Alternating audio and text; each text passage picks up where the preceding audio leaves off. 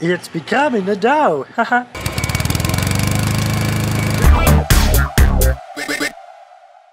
Hi, I'm Christian. I'm Alyssia. and welcome to Eat the Pizza. And today we are making a barbecue deep dish pot pie pizza. We're gonna make it delicious and bright. So I thought it would be appropriate, since this is a barbecue flavored pizza, to do a cornmeal crust. I know, say what? Say what? It's a great idea. We've got some warm water, and then I'm adding in this Rapid instant rise. yeast. Whisk it up, whisk it up. And Christian is gonna add the honey. Don't mind if I do. All right, we're gonna let that sit for a minute. So we've got flour Yep. and cornmeal. Make sure you're counting. I think this is blooming, so let's add this oil. You wanna mix? All right. Oh, smell it. Smells yeasty. It smells olive oily. Yeah, it smells like olive oil and yeast.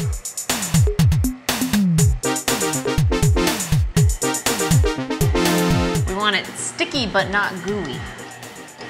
It's becoming a dough. Haha. I am adding some olive oil to this bowl. That is such a good idea. How in the heck did you come up with that? Uh, the recipe told me to do it. What? That's a pretty good idea to get it covered completely. Yeah, and then I don't have to get all dirty. Whoa, that's, no, no, no, don't put it directly in. You're making it into a ball. Oh. Drop it. Look, it's sti- it's um, sticky but not gooey. It's sticky but not gooey, it is. Put it in the bowl. Yep, you heard.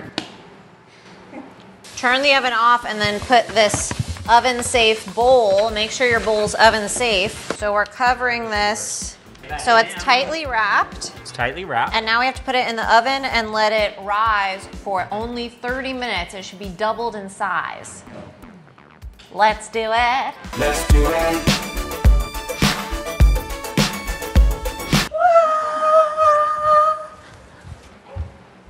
So pretty much when I was concepting this, I thought, let's take all of the great barbecue flavors and sides and layer them into a deep dish pizza. and I say that's brilliant. So what's one of your favorite barbecue sides? No, what does Oh. it go in? beans, baby. Beans, and not just beans, baked beans with bacon. Bacon and um, think about how good baked beans are. Everybody just take a moment. And you're right. You came to the right conclusion. Baked beans are great. We're also gonna make macaroni and cheese, which is my favorite side dish at barbecue. To make life easier, we're gonna use these Barilla Pronto uh, noodles. Not sponsored. Not sponsored. What an interesting way to cut this. Don't need that from you right now. I would have done it, but it's fine. So the cool thing about this is you don't have to boil water or drain it. You just add your pasta, add your water, and then turn on the heat.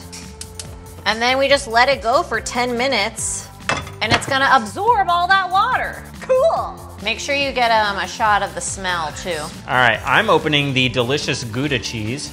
And I'm opening sharp white cheddar. Ooh, I'm a fan of sharp. I white know, cheddar, I gotta picked say. your favorite. And I think that there's no such thing as too much cheese in a mac and cheese, so just grate it all up. I'm gonna get to break this in half. Think I can do it?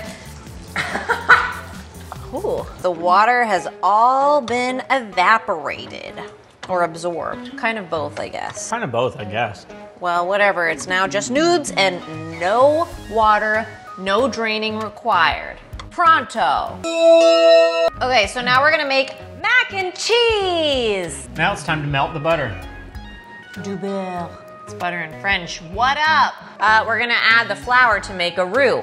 Boo! Careful not to dump that flour in there too aggressively. All right, we're gonna add the milk. Add the milk.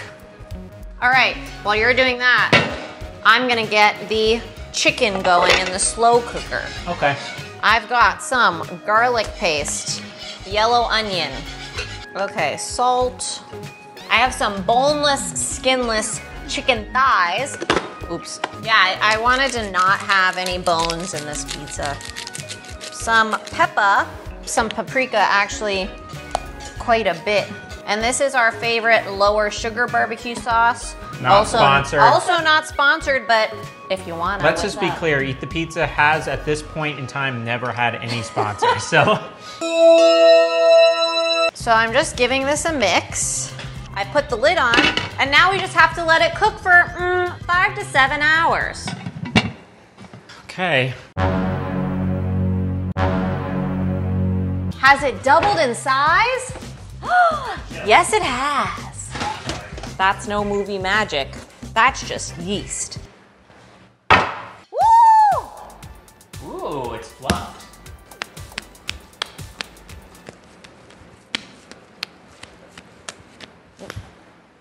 I was a uh, sports That was a big high school girl. Christian's thickening the roux, and I'm going to shred the chicken. Now I can transfer it all back into the sauce. All that flavor flav. So we got canned beans and our cooked bacon. And we're just gonna stir it Mix together. Don't forget your dogs. What do you think I'm doing? There's just no reason to cut onion without wearing goggles. All right, Now it's time. we're gonna add in the cheese. So we've got some white cheddar, and then I'm adding some Aguda cheese. Gouda idea. And then I'm gonna add in some sharp cheddar. All right, ready? Load it up.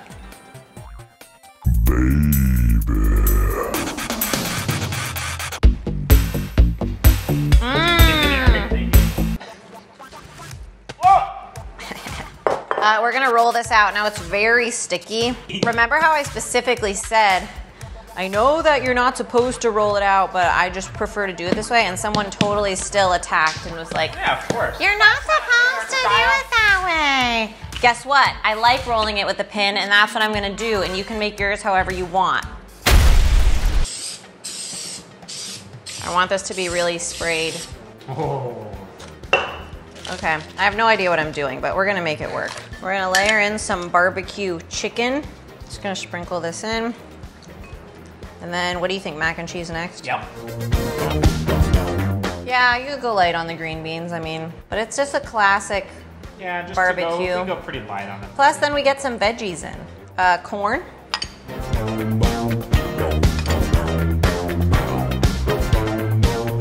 Right, and then we just gotta make the dough for the top. I'm gonna sprinkle on some of this leftover white cheddar. All right, we gotta put some slices on the top so it doesn't explode.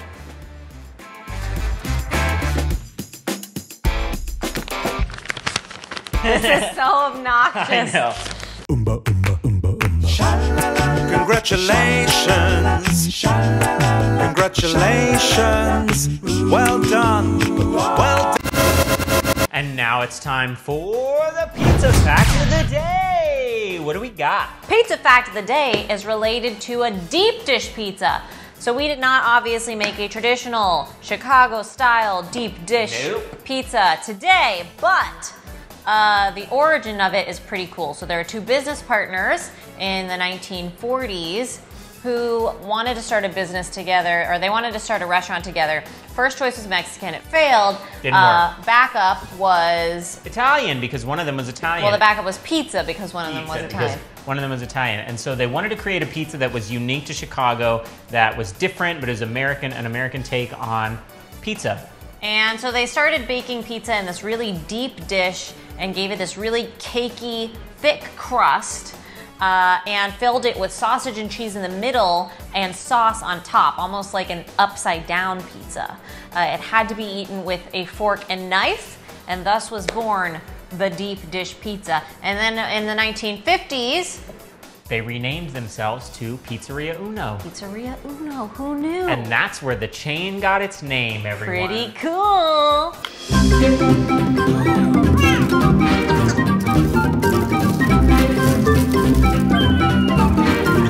So I think we may have made a mistake. So this is a springform Pan. pan, where you have to pop the uh, surrounding piece off, but we crimped the edge of the crust around. Whoops! Whoops! I mean, we don't even know if it's gonna stay together. This would be a miracle if it actually worked. It truly would be, and I gotta say, let's just do it.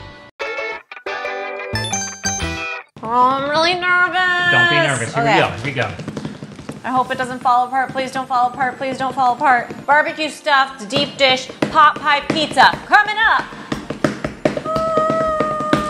Pull up, pull it up. Done, done. Oh my god! Holy crap! Holy crap! Oh my Just god! like I said. Oh my god! I Oh knew my it was gonna work easily. Oh my god!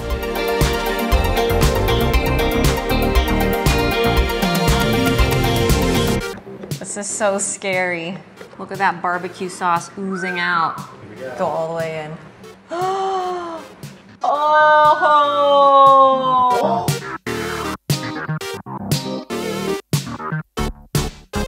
And now it's time to eat the pizza. Let's do it. Go ahead.